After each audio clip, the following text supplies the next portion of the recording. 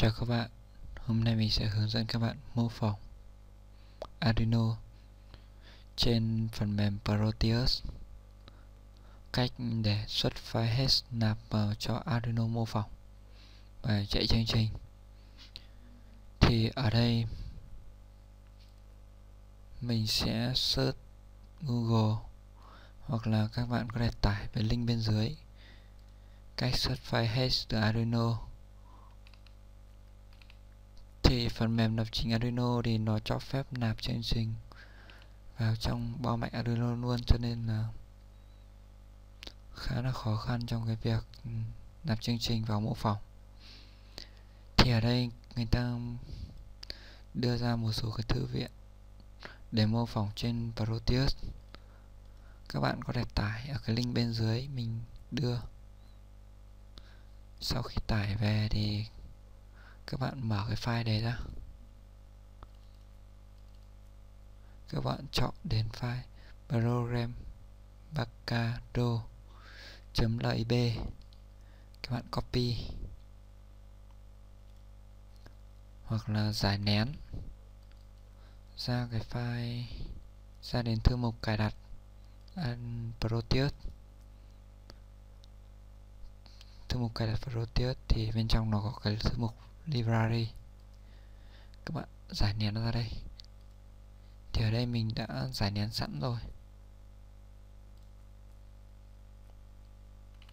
Đây, các bạn giải nén ra đây.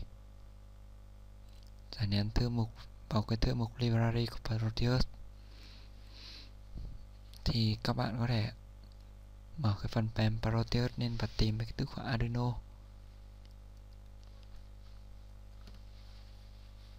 Đó thì ở đây nó có một số loại Arduino cơ bản như là Arduino Lipat, Arduino Mega, Arduino Nano,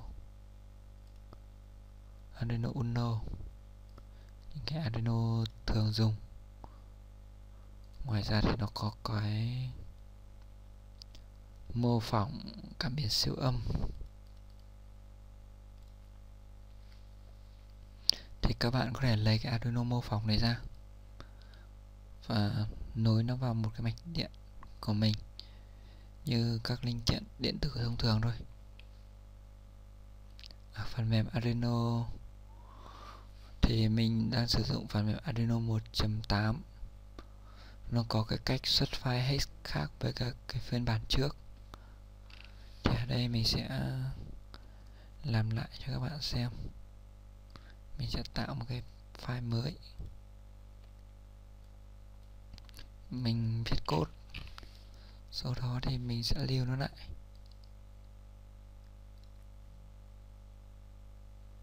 Ví dụ ở đây mình lưu là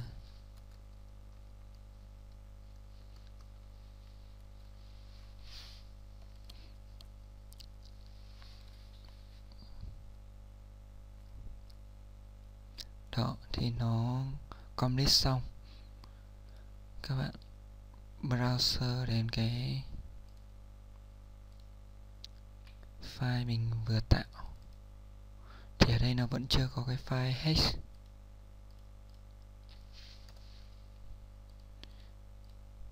để cái tạo được cái file hex đấy để làm vào cái chương trình Arduino mô phỏng thì các bạn vào sketch chọn export complete binary.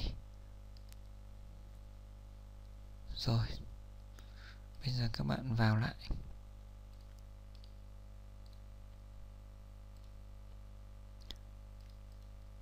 Uhm, đến cái file mình vừa tạo ra. Thì nó tạo ra cho mình một nó tạo ra cho mình hai cái file hex. Thì ở đây mình chọn cái file hex mà không có with border open. Chọn tần số thạch anh là 16 MHz ứng với Arduino mình đang sử dụng. Ok. Mình sẽ ấn play. Thì cái chương trình nó sẽ được chạy. Bây giờ mình sẽ thay đổi một chút để chương trình. Ví dụ thay đổi hiển thị số biến chẳng hạn.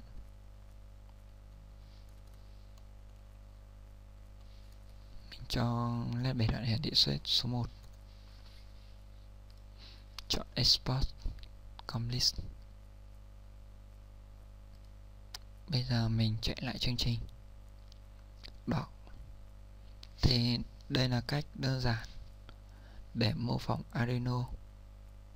Với các bạn chưa có Arduino hoặc là lười không muốn tự lắp cho mình một cái mạch thực tế thì có thể chọn cái phương pháp mô phỏng để chạy Arduino. Cảm ơn các bạn đã theo dõi.